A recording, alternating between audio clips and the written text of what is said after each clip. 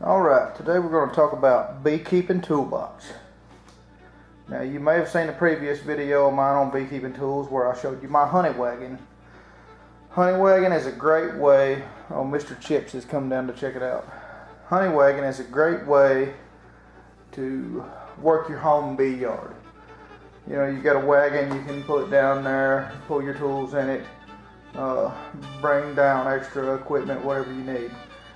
Now, say you don't like honey wagon, say you don't want a wagon, say you got out yards, you need to drive to those out yards.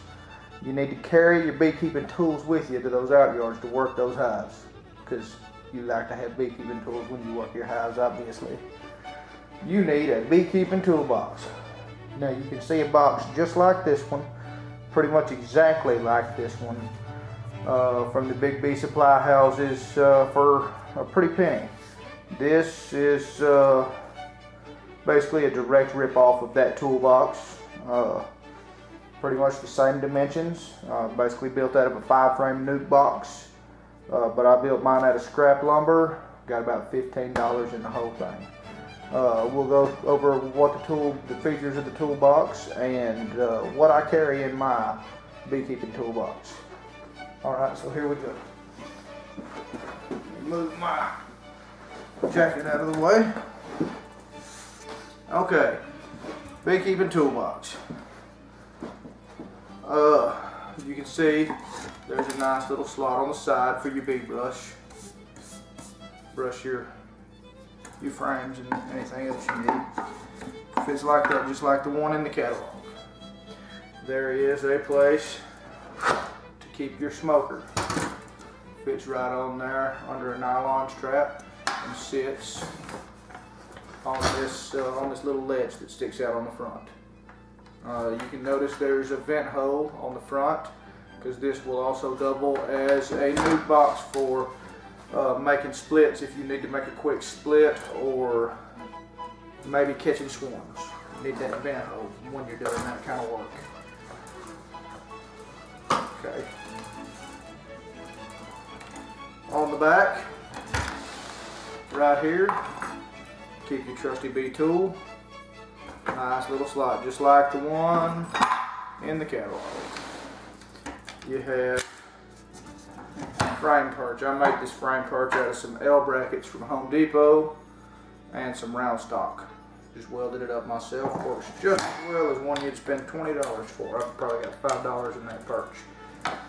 And then on this side, right here, handy dandy frame gripper. Just like on the bee box from the store for quite a bit more money. Now, the most expensive thing on my bee box is going to be this belt. I bought a nice belt from the Home Depot uh, and used it to make a uh, adjustable shoulder strap. Now, what do I carry in my bee First thing I'm going to carry in the box is going to be my beekeeping gloves. Good pair beekeeping gloves. I'm going to carry some extra beetle blasters. You're always changing beetle blasters out in your hives. I generally have more than this, but know, they're they're handy to have. And some oil. Just a condiment bottle with uh, olive oil in it to fill my beetle blasters up. I've only got a little in there. I need to add some. I'm going to carry some burlap. Just some burlap cut into strips and rolled up. This is the best smoker fuel that you will ever use. It is easy to light. It stays lit. It makes thick clouds of cool white smoke. Works very well. If you're not using burlap sacks, I suggest you try it. Uh, they're dirt cheap. Get them at your local farmers association. I'm going to usually carry a thing of powdered sugar and a kitchen sifter. This is going to be for varroa mite control, natural varroa mite control.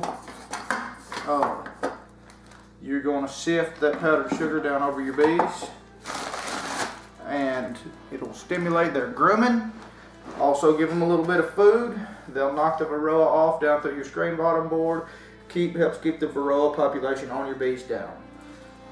Okay. Uh, also, I'm going to carry a lighter to light my smoker, a pair of scissors for all kinds of things. I like to keep some of this sting kill stuff in here. I don't ever use it when I get stung, but maybe if one of my kids gets stung, uh, it'll come in handy maybe. And I also carry an epinephrine auto injector. Now, if you're just getting into beekeeping, I suggest you get one of these. Uh, go to your doctor, your family doctor, tell them you would like an EpiPen, you have just started keeping bees. Even if you're not allergic to bees, they will write you a prescription for this because you never know when you're going to get allergic to bees. Or if somebody that, one of your kids or, or somebody that, you know, is over at your house, they get stung, they start having a, a severe reaction. Pop this out.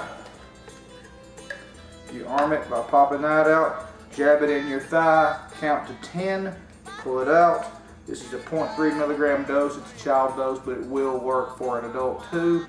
Save your life, possibly.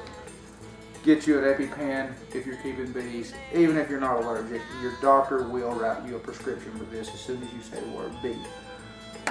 Uh, this box, like I said, is a five frame nuc box.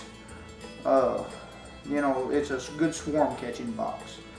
Uh, if you got to make splits, it's rabbeted right in here and it will hold five deep brood frames. So if you're down in the bee yard and you, and you need to make a quick split, say you find a, a, some queen cells that are capped or just about to be capped and, and you know your queen hadn't left with her swarm yet, uh, you need to make that split right now. You can take your queen that's getting ready to swarm and a few uh, brood frames and put in here, you know, a brood, uh, open brood, sealed brood, and a honey. Put in here with the queen. Take her on till you, you know, it's ventilated through this hole behind the smoker. Uh, close it up, run up to the house or wherever you got to go and get you, you know, an 8 or a 10 frame deep to put her in, keep her from swarming. Uh, good all around box to have. Built this one out of scrap lumber. Had uh, this belt. Had most of the hardware already.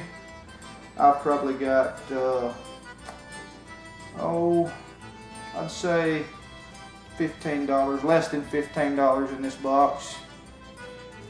Save a little money, build it yourself. There you go.